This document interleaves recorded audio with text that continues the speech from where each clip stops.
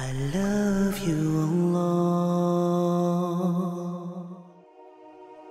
Life is short. Think a lot about those who have left this world.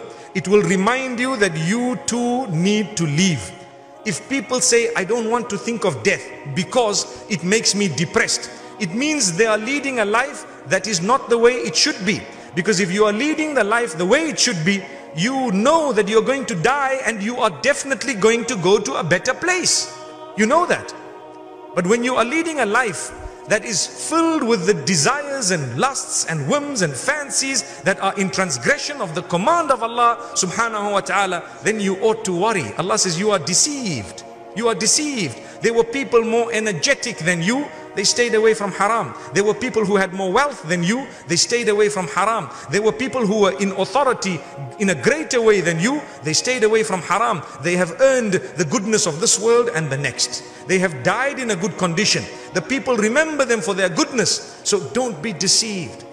The Prophet ﷺ says, increase the remembrance of that which destroys your haram desires. What is it? Death. Think of it. I'm going to die. I could die today. I could die tomorrow. When I die, may Allah have mercy on me. I tell you, my brothers and sisters, true success is when you have died and Allah is pleased with you. No matter what age you have died, you could die at 10, at 20, at 50, at 100. That is besides the point. The point is, was Allah pleased with you when you died? If so, don't worry about what you've left behind. Everybody leaves things behind someone will take care of them. I always tell the people who say, no, I don't want to die right now. You know, my wife and my, my children. And I say, brother, maybe if you die, they might be leading a happier life. Who knows? May Allah subhanahu wa ta'ala make us such that if we were to die, at least they would remember us for goodness. At least they would remember us for something decent, subhanallah. So, no matter what age you die at, life will carry on. Your children, look at those who were orphaned. Your wife, look at those who are widowed. Subhanallah. Things will happen. Your husband, etc. May Allah subhanahu wa ta'ala grant us goodness and ease. Like I said, the idea, you got to please Allah. That's what it is.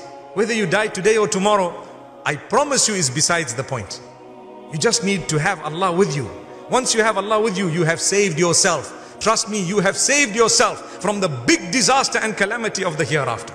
Today we are here, our parents, our family members, our friends, we can take care of one another. Wallahi, trust me, the minute your eyes are closed and you go into that grave of yours, you are all alone. You and the mercy of Allah. What else is there? Your deeds, we ask Allah to accept our deeds. We do little deeds and we want the mercy of Allah. Ya Allah, forgive our sins and grant us a good death, Ya Allah. Ya Allah, grant us goodness in the grave as well and grant us the best of the hereafter. Ameen.